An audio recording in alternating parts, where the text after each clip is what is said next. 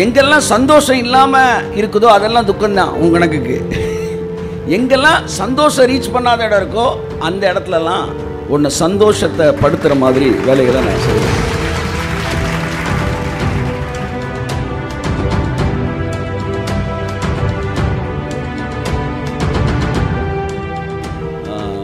இன்றைக்கும் நான் தொடர்ந்து ஐஸ்வர்யத்தை பற்றி பேசப் போகிறேன்.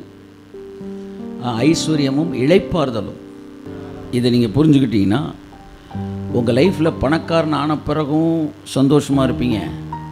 பணக்காரன் ஆகிற வரைக்கும் சந்தோஷமாக இருப்பீங்க.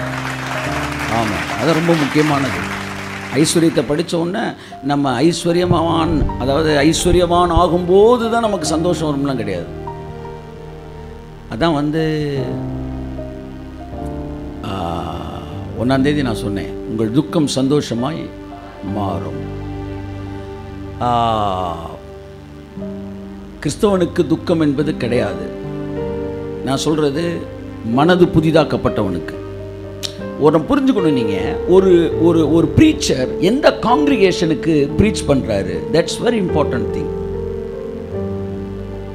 I am not a preacher for gentiles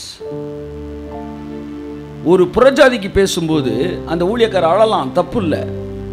ஏன்னா ஏற்கனவே பாடுபட்டுக்கிட்டு இருக்கிறான். இங்கே தான் ஐம்பது பேரும் பாஸ் பண்ணி உட்கார வச்சுருக்குறோம். உண்மையா இல்லையா? சார் நீங்கள் முன்னாடி இருந்த வாழ்க்கைக்கு ஆயிரம் மடங்கு இப்போ நல்லா இருக்கீங்களா இல்லையாங்க? அப்புறம் உங்கள்கிட்ட வந்து தேம்பி தேம்பி அழுது ஒன்று பிரசங்கம் பண்ணிக்கிறேன் இல்லை? நான் யாருக்கான பிரசங்கி? ரொம்ப கரெக்டாக நீங்கள் பார்க்கணும். ஏற்கனவே பாஸ் ஆனவனை ஃபஸ்ட் மார்க் போக வைக்கிறதுக்கு நம்ம பேசிக்கிட்டு இருக்கிறோம். அப்போ துக்கமே இல்லைன்ற ஒன்றை நீங்கள் துக்கம் இருக்கிறதா பேசிக்கிட்டு இருக்க முடியாது. வியாதியே இல்லை என்கிற ஒரு இடத்துல பேசிக்கிட்டு இருக்கிற நம்ம. வியாதியை சுகமாக்குவார்ன்ற வார்த்தையை நான் ப்ரீச் பண்ணால் அங்கே வந்து அது அது வந்து உண்மை கிடையாது. அப்போ நான் என்ன பண்ணலாம்? அடுத்த ஸ்டேஜுக்கு தான் நான் போகணும். அடுத்த ஸ்டேஜ் என்ன? வியாதி வராத ஒரு வாழ்க்கை. அப்போ துக்கம் சந்தோஷமாய் மாறும் போது கர்த்தர் சொன்ன நான் கேட்டேன் ஆண்டவரே துக்கமே இல்லாத ஒரு இடத்துல தானே எங்களை கொண்டு போயிட்டு இருக்கிறீங்க. எங்கள் வாழ்க்கையில் இருந்த துக்கத்தை எல்லாம் சிலுவையில் சுமந்தீங்க. எங்கள் வாழ்க்கையில் இப்போ அது குறைச்சிட்டீங்க. உண்மையா இல்லையாங்க? அப்போ தான் சொன்னார் எங்கெல்லாம் சந்தோஷம் இல்லாமல் இருக்குதோ அதெல்லாம் துக்கம்தான் உங்க கணக்குக்கு.